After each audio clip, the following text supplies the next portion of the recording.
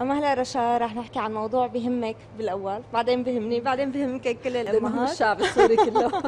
أكيد كل حدا عنده طفل. كيف بنقدر نستثمر وقته بفصل الصيف؟ كيف بنقدر نبني جسم صحي وسليم؟ وبنفس الوقت يمكن بعض الأوقات نكتشف مواهب كتير حلوة عند أطفالنا ما نكون منتبهين عليها أو حتى ننمي هي المواهب بطريقة صح. رح نحكي عن هذا الموضوع بالتفصيل مع الكوتش محمود زيدان المدير التنفيذي لأكاديمية أكاديمية رياضية وطبعا أول شيء بدنا نهنيه للكوتش على الترخيص الذهبي. صباح الخير كوتش. سيد لي صباحكم هلا يسعد صباحك. صباحك. أهلا وسهلا. صباح نشاط ورياض هيك حيوية على طول. اليوم عم نحكي عن الطفل بحاجة إنه نحن ندعمه بمواهبه إن كان الرياضية وإن كان بال فأحيانا بيكون عنده مواهب فنية مواهب علمية وأيضا رياضيه اليوم جمباز باليه جيم كرة سلة كثير من الأنواع الرياضية. ولكن كل طفل عنده اتجاه معين ممكن يكون موهوب بالسباحة ولكن هو مثلا كرة السلة غير موهوب. اليوم كيف نحن قادرين نحدد اليوم اتجاه طفلنا لنقدر نوجهه بالشكل الصحيح؟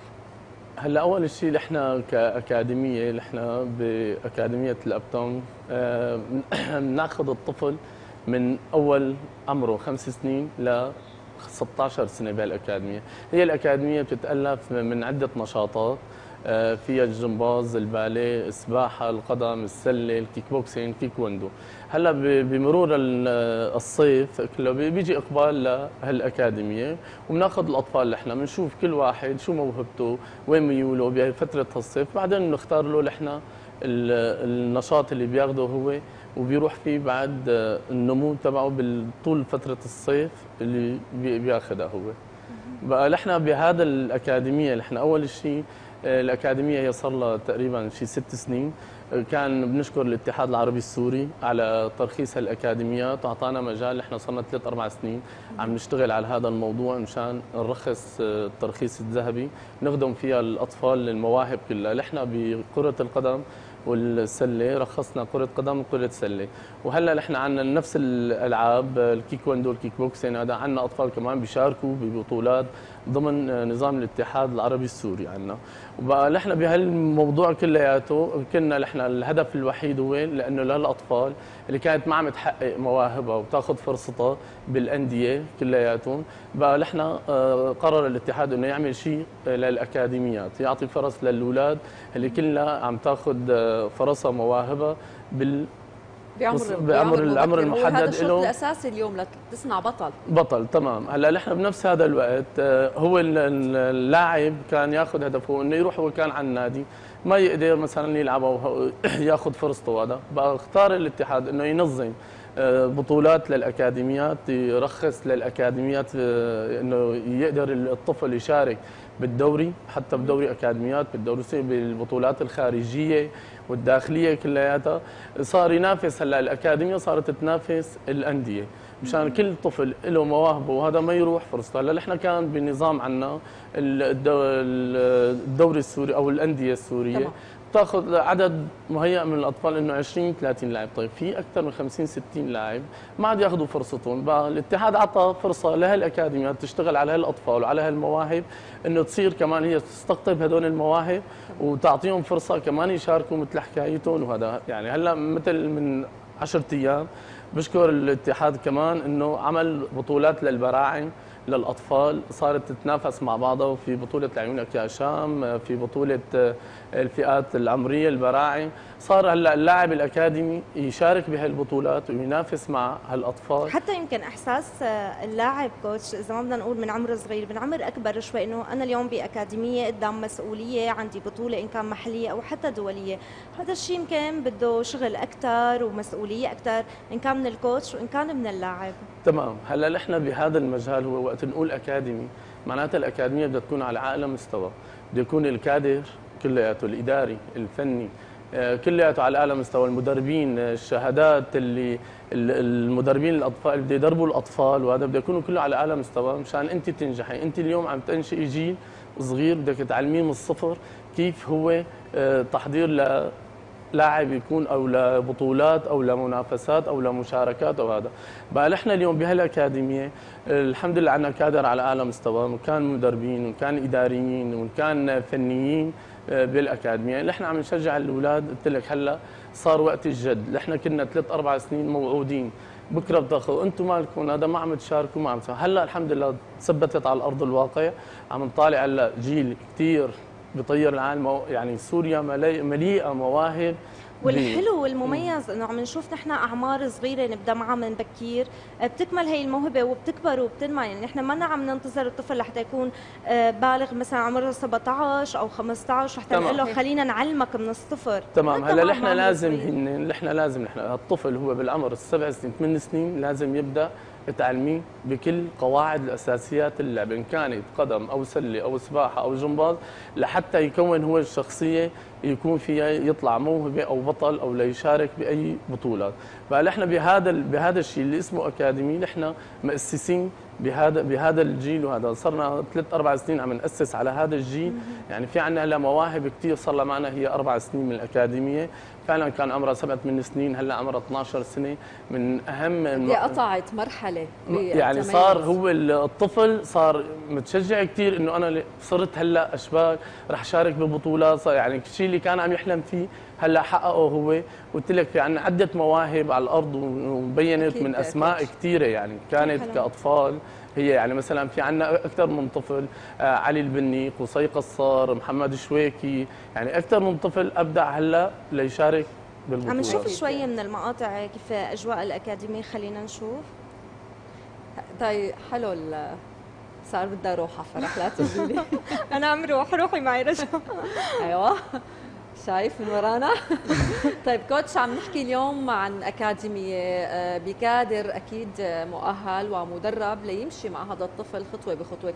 اليوم نحن أبدا ما بينقصنا شيء لنهيئ هذا الطفل سوى التدريب والأهمية والاهتمام من الصغر مثل ما حكينا. خلينا نحكي عن فترة التدريب. اليوم شو عم تقدموا بفترة التدريب؟ وكل طفل بيتميز عن طفل ثاني كان بالمهارة وإن كان بنوع الرياضة.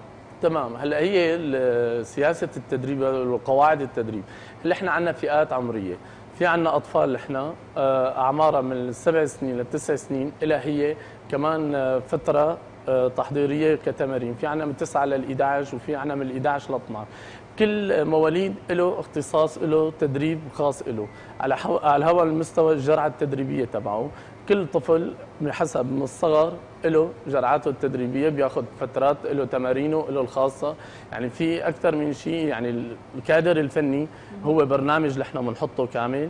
آه، لكل فئة لها برنامجها شلون يأسس الولد آه، شو الفترة آه، شلون يلعب بالكرة إمتى تقوية المهارة إمتى تقوية السرعة تبعه إمتى نمو التكتيك. يعني في كل فترة بفترة هو برنامج بينحط منهجي. لسنة من الكادر الفني تبع المدربين وبيتوزع على الطلاب لأنه كل عمر هو كوتش أكيد. نحن صيف شتاء طبعا صيف شتاء هن لأنه الأكاديمية قلت لك بتتعدد من أكثر من نشاطات. بس يمكن بيختلف بكرة بالمدارس الطلاب البرنامج حيختلف كله. تمام هلا برنامجنا نحن بالصيف هو يومي فيه بالمدارس بيكون هو جمعة وسبت ويوم بالأسبوع. مشان الولد هلا وقت المدارس كمان نحن من بنشد أكثر يعني بالدراسة إنه على الطفل يكون هو عم يدرس. إذا ما جاب نتائج منيحه وكل شيء كمان ما بنعطيه الفرصة بده يكون هو اللاعب. أول شيء دراسيا مهتم بعدين بنهتم فيه بين فنيا وذهنيا واجتماعيا. هلا الحلو كمان كوتش إنه نحن لما بنشوف آه، هذا الكوتش صارم بنشوف هذا الكوتش شخصيته كثير قوية. قد إيه بيعلم الطفل أوقات الانضباط؟ خاصة الأطفال يمكن اللي عندهم أوقات فرطشات أو الأطفال المشاغبين مثل ما نحن بنقول. فهون يمكن بتتعاونوا كثير مع الأهل إن كان بتعديل سلوك أو حتى يمكن بضبط الطفل وتعليمه النظام. قد إيه بتركزوا على هي النقطة كمان؟ تمام. هلا نحن عندنا بالأكاديمية في حالات كثير بتصير مثلا بس نحن اليوم الكوتش هو أول شيء بده يكون اجتماعي ثاني شيء بيكون ذهني بعدين بيكون فني على الطفل. هلأ أكيد بيجينا أطفال كثيره آه شيء بهذا العمر هو من الخمس ست سنين للتسع سنين ما بيكون في هالوعي كثير بانضباط وقصص إنه أنا بس جاي بدي ألعب بدي أعمل. إحنا بقى في آه أسلوب هو بيكون من الكوتشات آه من الكادر الإداري حاطه على أيام التدريب والقصص إنه أنت لازم اليوم تنفذ هيك تعمل هيك لتصير بطل. في تشجيع بده يكون هو من الكوتش.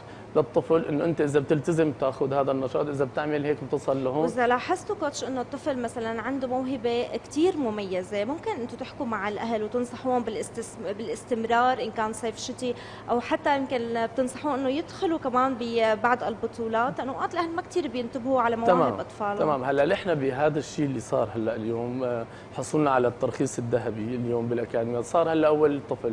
مثل ما كان حلمه يروح يلعب بالوحدة وبالجيش وبالأندية ومنتخب هلا صار نفس الشيء الحلم تحقق تبعه. اليوم بيقدر عنا كمان هو هذا الطفل يشارك ويلعب بالدوري وبالأكاديميات وبطولات خارجية وكل شيء مثلنا مثل النادي. بأي موهبة اللي إحنا بنشوفها؟ في عنا اللي إحنا مثل كشافين هن بقلب الأكاديمية هو المدير الفني الكابتن محمد قادري بشكره كثير على الرؤيه الفنية تبعه مثلا في أطفال كثير موهوبين إحنا هدول الأطفال الموهوبين بناخذهم في عنا نحن منتخبات للأكاديمية. يعني هي الأكاديمية فيها منتخب في منتخب ثاني وبعدين أكاديمية تدريب اللي بيجي مبتدئ. كل مين موهبه إحنا بنشوفه كان بأي مواليد بشوفوا المدير الفني بكون منيح بنحطهم نحن بمنتخب واحد. بصيروا بيتدربوا كلهم وبنعطيه نحن نفس منه الجلعه التدريبية تبعه وبيشارك بالبطولات وهذا الشيء اللي عم يهدف له هو. يحلم فيه عم يتحقق دغري هو لأنه من الشيء اللي عم يقدمه هو بأرض الملعب ليصل للشيء اللي بده إياه. كوتش بعد ما ذكرت حضرتك البطولات وبعد ما حصلتوا على الترخيص صار بإمكانكم أنكم تشاركوا بالبطولات المحلية والدولية لكافة الأعمار وأيضا لفريق السيدات. شو عم جاهزين؟ في شي بطولات جديدة؟ شو شاركتوا؟ هلا عندنا تقريبا نحن شاركنا هلا ببطولة 2010 2011 براعم بكأس الجمهورية بعد منا بطولة لعيونك يا شام كمان. وهلا عندنا مشاركة. شو كانت الرياضات رياضة كرة قدم. هي كرة قدم. هلا إحنا الاكثريه اللعبة الشعبية الأولى بسوريا هي كرة القدم. وثاني شيء يعني عندنا السلة هذا بالألعاب الفردية اللي إحنا كثير كمان عندنا بالكيكوندو والكيك بوكسين عم بس هي اللعبة الأساسية عندنا كرة القدم.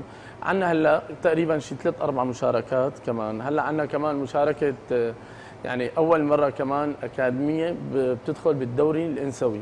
عندنا فريق بنات متكون من 25 ناشئة. وراح نشارك هلا بالدوري السوري ب 15 8 حلو. راح يصير بدمشق التجمع تبعه وفي بالسويدة وفي بالحسكة وفي بحما هن 11 نادي إحنا الأكاديمية الوحدة فيها وراح بدأ تبدأ البطولة هي ب 15 8 وتقريبا عندنا هلا كمان بطولة آه، البراعم 2011 2012 كمان. بده ينقوا منا منتخب دمشق.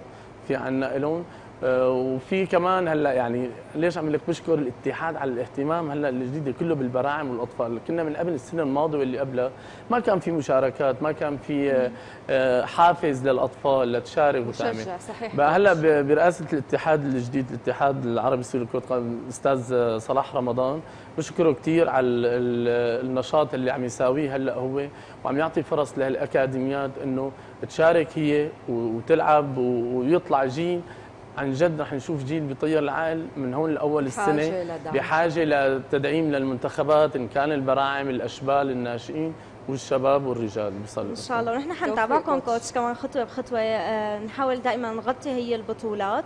آه، ألف مبروك الترخيص. يلي نحن اليوم آه، كثير بحاجة خطوة لقدام بمجال الرياضة. شكرا كثير لك كوتش وكل التوفيق لك شكرا كوتش لحضوركم نتمنى لكم التوفيق ونشوفكم هيك دائما بالمكان اللي أنتم عم تحلموا عم تطمحوا توصلوا له شكرا, شكرا. كثير لكم على ضيافه القدس شكرا